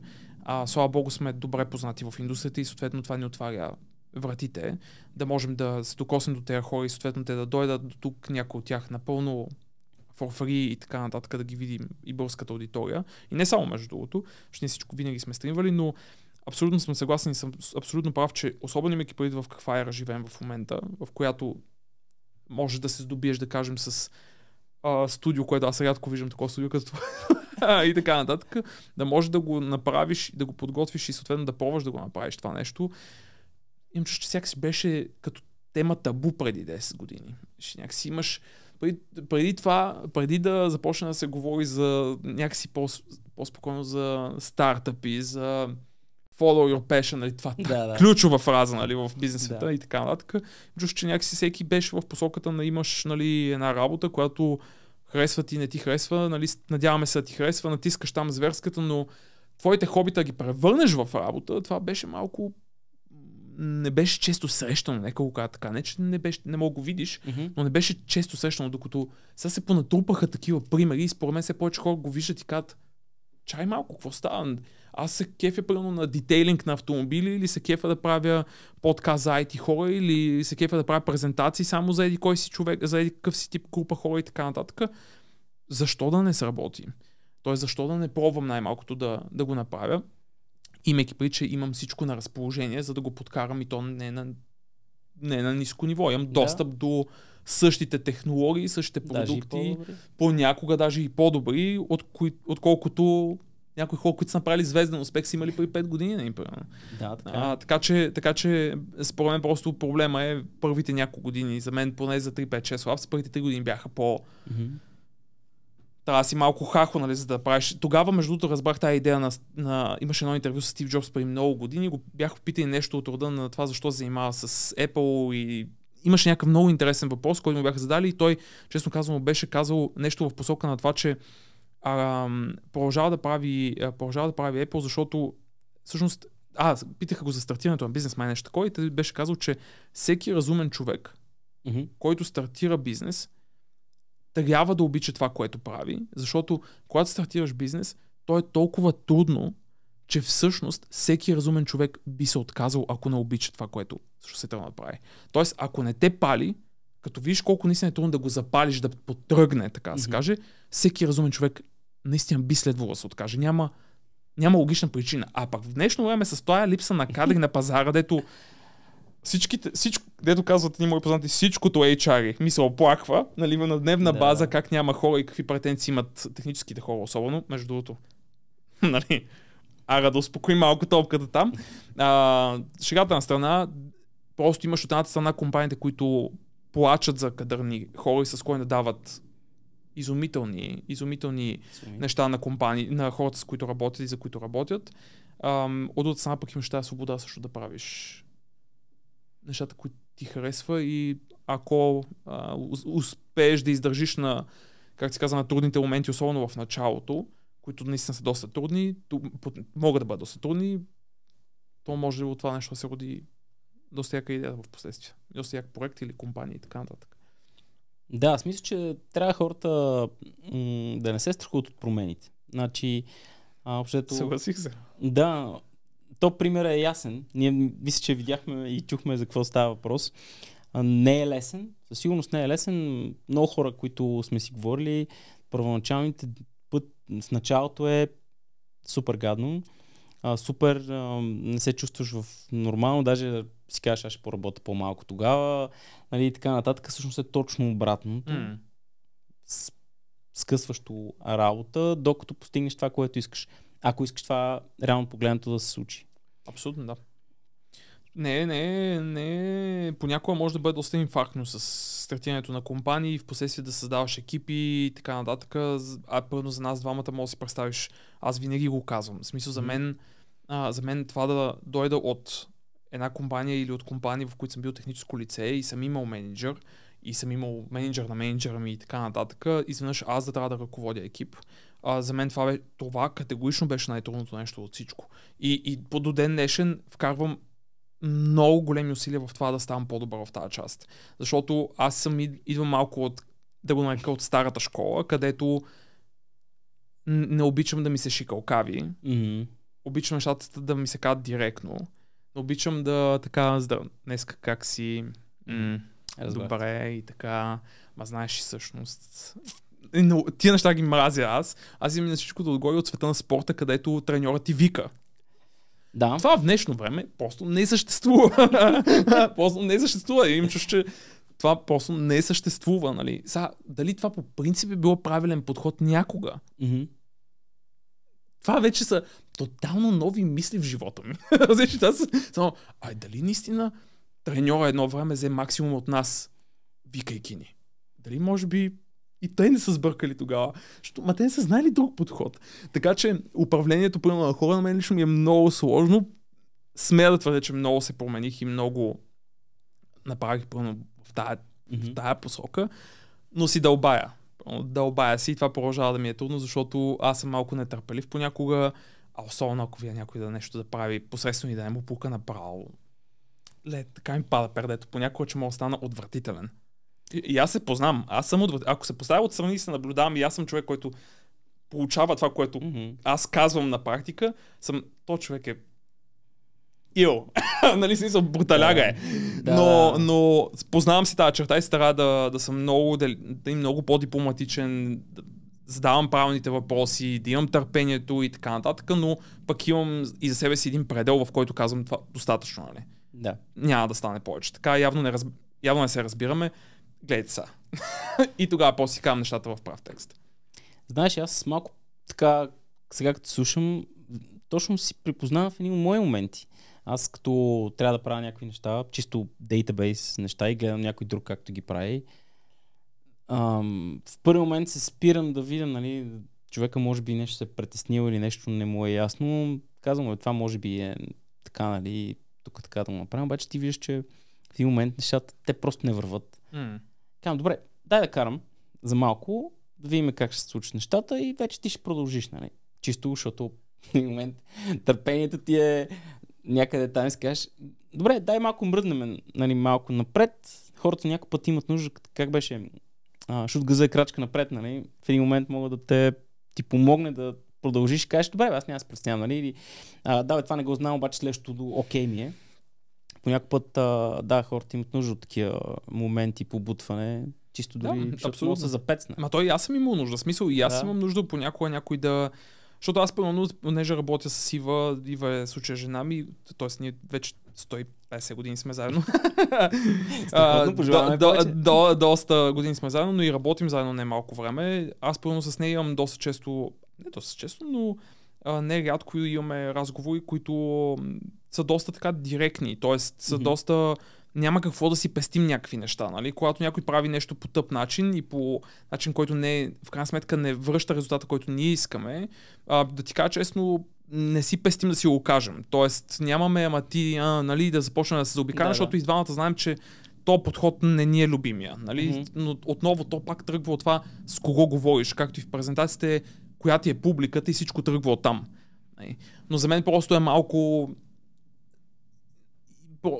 малко ме измъчва мисълта, че в момента имаме, имаме този подход през цялото време до почти до, до... Имам чувство, че поне това, което чувам и това, което отчасти и виждаме, че почти до крайно се стараем да сме дипломатични. До такава крайно, че даже не смеем да си кажем понякога нещо в очите, за да може да излезнем от някаква проблемна ситуация. Нали? Стараем се да бъдем толкова деликатни, толкова, как се казва, политически коректни или правилният термин да. и така нататък, че някакси в един момент казваме, окей, къде, къде, му, къде му е кранът? Къде му се, вижда ли му се крана въобще на това? Защото поне за мен в някои ситуации, честно казано, мисля, че понякога като просто си кажеш с някои нещата за една минута по-директно, нито някой ще се обиди, нито нищо, а пък в крайна сметка проблемът ще бъде разрешен. И то за... И то за, да, за отрицателно време. Но отново, ние с теб сме само двама души, които могат после да го коментират. Какво Да. случва какво се случва и всеки как управлява неговия продукт, процес, семейство и така нататък. Всеки си има негов под- подход, почерк и е намерил нещо, което работи за него. Така че, Мисля, че дойде момент, в който трябва да ти задам въпроса, понеже знам, че нещо се случва в 356 Lab в момента. Какво се случва? Това ще бъде много интересно, защото хората ще могат да разберат чисто от тебе, преди нещата да са дори така а, Публични много. публични много, да ни разкажеш какво случва, а, какво ново. Ами нещо ново, което ние решихме да направим, аз го споменах, но няма и хората как да го знаят до такава степен, е, че всъщност взехме едно стратегическо решение да променим фокуса на компанията, като името на компанията си остава същото, все още ще има хора, които ще ни наричат 365 Labs. Затова, между другото, в социалните медии скоро ще Надявам се, че въобще не Да, съм объркал, но да, съм объркал, а, и съответно, не, не, ти си казваш точно нещата, но много често ни казват 365 Labs и аз съм за пореден път 356 Labs. А даже между другото новите social media креативи във Facebook, LinkedIn и така ще всъщност пише It's 356, not 365. Буквално ще го видите навсякъде вече. Е така за базика. А, но да, решихме да се върнем там и да фокусираме компанията върху мястото, откъдето всичко започна, което е технологичния бранш. Аз дойдох и първата ми работа беше в технологи... Не първата ми работа, но първата ми работа беше всъщност официалната ми първа работа беше барман, всъщност като съм мисля, не беше технологичния бранш, но, да, не е лоша работа, ако трябва да съм честен, малко ниско платена едно време, but still.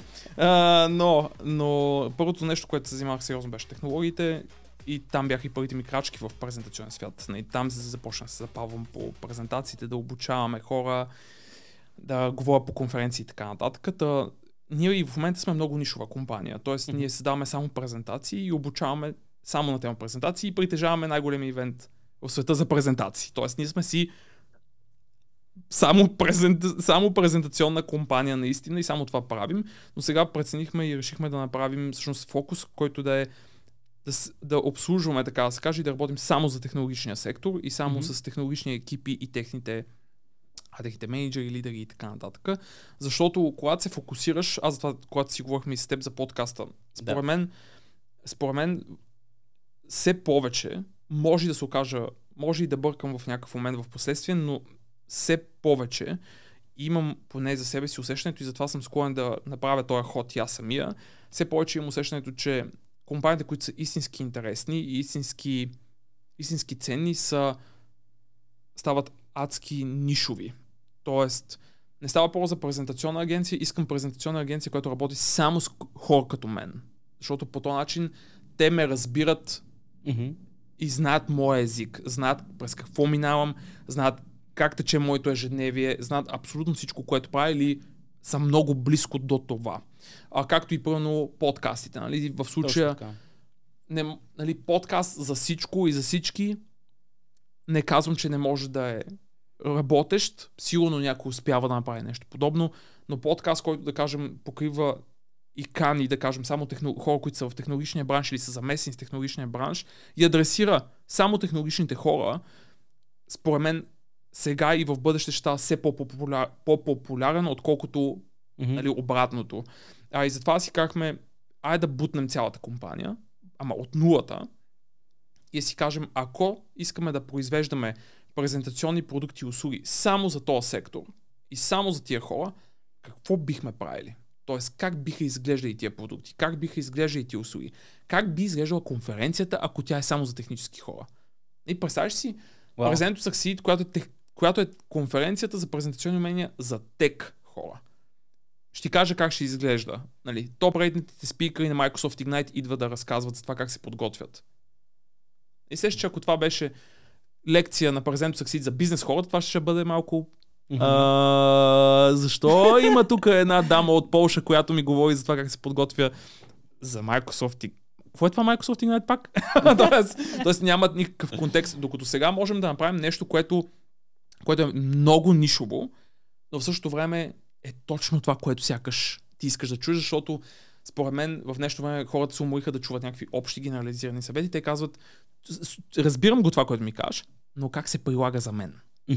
Виж, И това, според мен, започва да се вижда все повече и все повече и затова не искаме да отидем в тази посока. И заедно с това, като решихме да сменим фокуса си, казахме, айде да рефрешнем цялостно и компанията и бранда, защото до момента винаги заради бързината, заради различни, различни неща, винаги бързахме, винаги някакси, как беше то лав с обощаря, дето ходи с, с, с късните обувки, обувки. а така, винаги не си довършвахме нещата, нашите си неща. Да. Този път казахме край на това. Мисъл, стопет. Айде стига вече с този подход. Айде да направим един път и ние да си угодим на себе си, нали?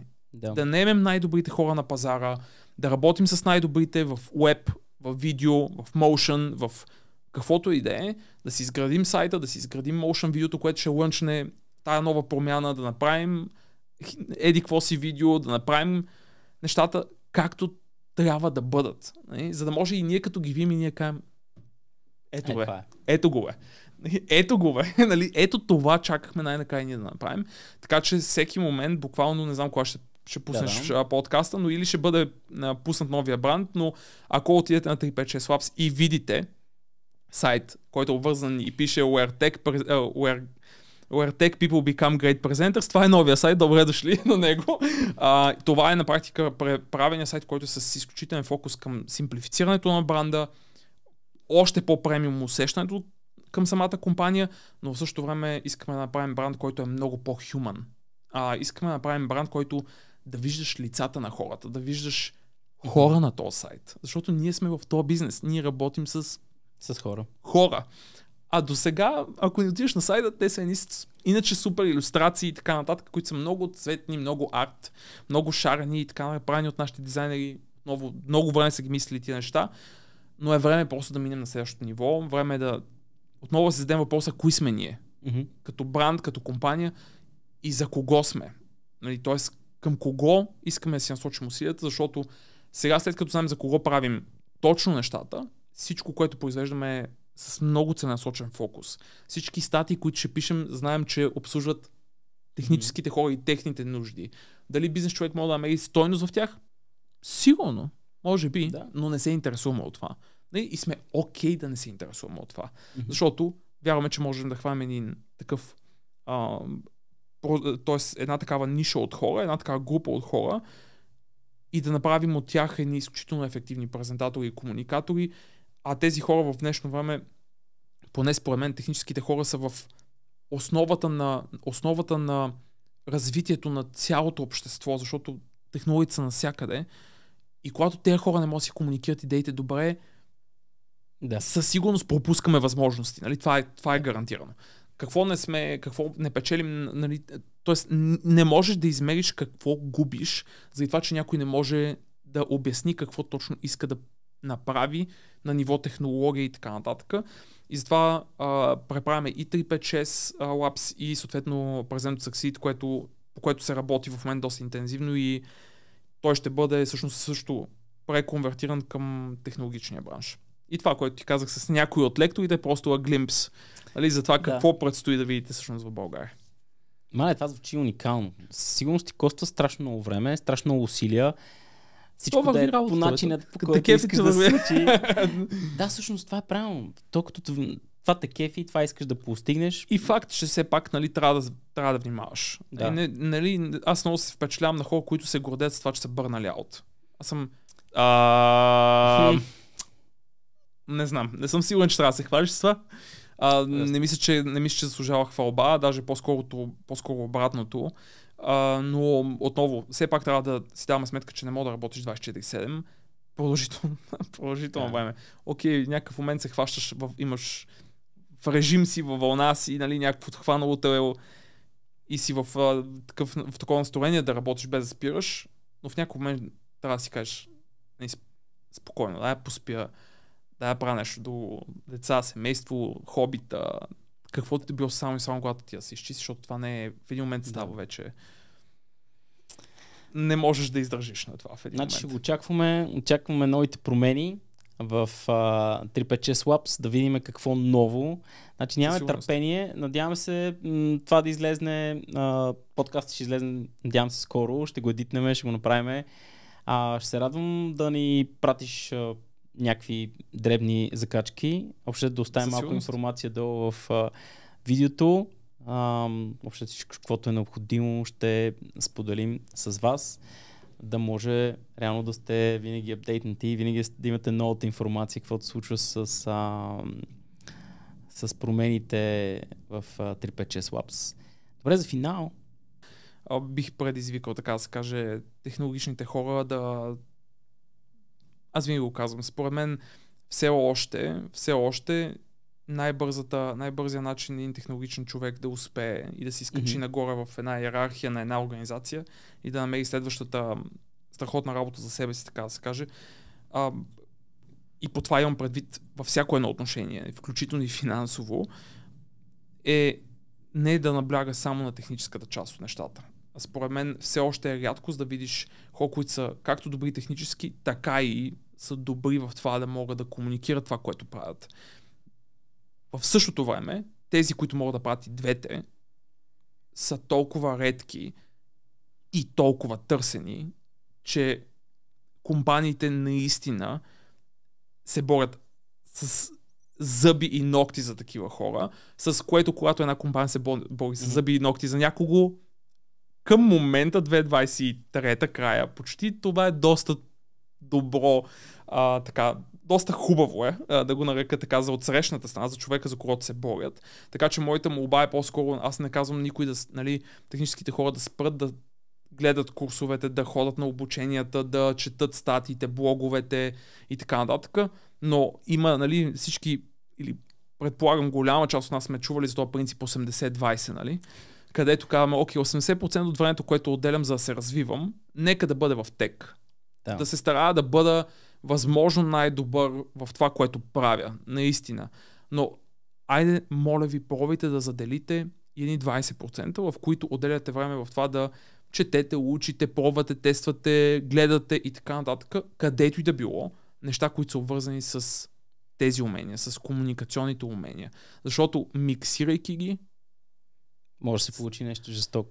може да се получи и ще се получи нещо много, много жестоко, от което само самите хора в крайна сметка печелят накрая. Да, и аз мисля, че за финал може да кажем следното нещо, че хора, продължавайте да правите нещата, които ви харесват. Не се страхувайте да рискувате. Бъдете различни, със сигурност. И със сигурност гледайте нашия подкаст.